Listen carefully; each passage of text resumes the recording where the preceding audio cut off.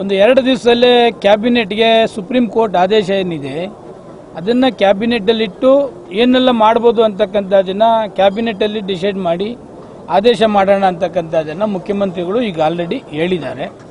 ತಾತ್ಕಾಲಿಕವಾಗಿ ಡೆಮಾಲಿಷಿಂಗ್ ಮಾಡ್ತಕ್ಕಂಥದ್ದನ್ನು ಈಗ ಸ್ಟಾಪ್ ಆಗಿದೆ.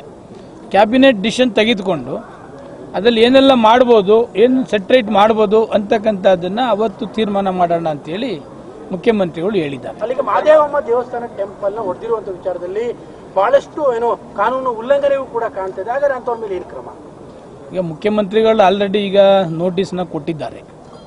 ಅವರು ಉತ್ತರ ಕೊಟ್ಟಾದ ಮೇಲೆ ಮುಖ್ಯಮಂತ್ರಿಗಳು ಡಿಸೈಡ್ ಮಾಡ್ತಾರೆ. ಏಕೆಂದರೆ ಅವರು ನೇರವಾಗಿ ಅವ್ರ ಗಮನಕ್ಕೆ ಹೋಗಿದೆ.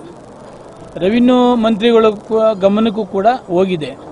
ನೋಟಿಸ್ ಜಾರಿ ಮಾಡಿದ್ದಾರೆ. ನೋ- ಅವ್ರು ಏನು ಉತ್ತರ ಕೊಡ್ತಾರೆ ಅದ್ರ ಮೇಲೆ ಡಿಸೈಡ್ ಮಾಡೋಣ ಅಂತಕ್ಕಂಥದ್ದನ್ನು ಮುಖ್ಯಮಂತ್ರಿಗಳು ಹೇಳಿದ್ದಾರೆ. ಸರ್ ಈಗ ವಿವೇಕ ಸ್ಮಾರಕ ವಿಚಾರವಾಗಿಯೂ ಸಹ ಸಮಸ್ಯೆ ಉಲ್ಬಣ ಆಗ್ತಾ ಇದೆ. ಮೊಳಕೆಯಲ್ಲಿ ಈಗಾಗಲೇ ಎರಡೂ ಕಡೆಯವರು ಆ ಕಡೆ ಈ ಕಡೆಯವರು ಪ್ರತಿಭಟನೆ ಆಗಿ ಇಳಿತಾ ಇದ್ದಾರೆ. ಯಾಕೆ ಆ ಸಮಸ್ಯೆಗಳು ಅದು ಮುಖ್ಯಮಂತ್ರಿಗಳ ಗಮನದಲ್ಲಿದೆ. ಈ ಅಸೆಂಬ್ಲಿ ಮುಗಿದ ತಕ್ಷಣ ಅದನ್ನು ಕೂಡ ಸಾಲ್ವ್ ಮಾಡ್ತಾರೆ. ವಿವೇಕ ಸ್ಮಾರಕ ಯಾರು ಗಮನಕ್ಕೆ ತಗೊಳ್ತಾ ಸರ್? Day one ತಗೊಳ್ತಿದ್ದಾರೆ.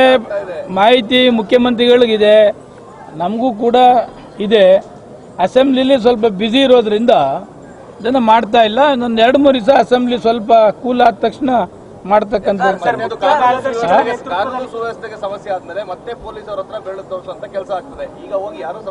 ಕಾನೂನು ಸುವ್ಯವಸ್ಥೆ ಏನು ಮೀರಿಲ್ಲ. ಪೊಲೀಸ್ ಪೊಲೀಸ್ನವರು ಕಮಿಷನರು ಎಸ್ ಪಿ ಅವರು ಡಿ ಸಿ ಪಿ ಅವರು ಬಹಳ ಸ್ಟ್ರಿಕ್ಟ್ ಆಗಿ ಮಾಡ್ತಾ ಇದ್ದಾರೆ. ಪೊಲೀಸ್ ಕಾನೂನನ್ನು ಸುವ್ಯವಸ್ಥೆ ಏನು ಹದಗೆಟ್ಟಿಲ್ಲ ಪ್ರತಿಯೊಂದು ಮುಖ್ಯಮಂತ್ರಿಗಳಿಗೆ ಮಾಹಿತಿ ಹೋಗ್ತಾ ಇದೆ. ಏನೆಲ್ಲ ಮಾಡಬಹುದು ಅಂತಕ್ಕಂಥದ್ದನ್ನ ಕೂಡ ಅವರು ಚರ್ಚೆನ ಕೂಡ ಮಾಡ್ತಿದ್ದಾರೆ. ಸಂಘಟನೆಗಳ ಹೋರಾಟ ಸರ್ಕಾರಕ್ಕೆ ಮುಜುಗರ ತಂದಿಲ್ವಾ ಅಂತ. ಇಲ್ಲ ಸರ್ಕಾರಕ್ಕೆ ಮುಜುಗರ ಆಗೋದಿಲ್ಲ. ಹಿಂದೂ ಸಂಘಟನೆಗಳು ಎಲ್ಲೋ ದೇವಸ್ಥಾನ ಒಂದು ಒಡೆದ್ರಲ್ಲ ಅಂತಕ್ಕಂಥದ್ದನ್ನ ನೋವನ್ನ ಅವರು ತೋಡ್ಕೊಳ್ತಿದ್ದಾರೆ. ಅದೇನು ತಪ್ಪೇನಿಲ್ಲ ಅದು. ಏನು ತಪ್ಪಾಗಿದೆ ಅದನ್ನು ಸರಿಪಡಿಸ್ತಕ್ಕಂಥದ್ದು. ಮುಂದೆ ಈ ತರ ಆಗದೇ ಇರ್ತಕ್ಕಂಥ ರೀತಿಯಲ್ಲಿ ಸರ್ಕಾರನೂ ಕೂಡ ಎಚ್ಚೆತ್ಕೊಂಡಿದೆ. ಅದಕ್ಕೆಲ್ಲ ಏನು ಜನಪ್ರತಿನಿಧಿಗಳ ಗಮನಕ್ಕೆ ಬಾರದ ಅಧಿಕಾರಿಗಳು ಹೇಗೆ ಆದೇಶ ಹೊರಡಿಸ್ತಾರೆ? ಅದೆಲ್ಲವನ್ನ ನೋಟಿಸ್ ಕೊಟ್ಟಿದ್ದಾರೆ. ನೋಟಿಸ್ ಅಲ್ಲಿ ಆನ್ಸರ್ ಮಾಡ್ತಾರೆ. ಅದಕ್ಕೆಲ್ಲ ಕ್ಯಾಬಿನೆಟ್ ಚರ್ಚೆ ಮಾಡಿ ತಮಗೆ ಮಾಹಿತಿ ಕೊಡ್ತಾರೆ.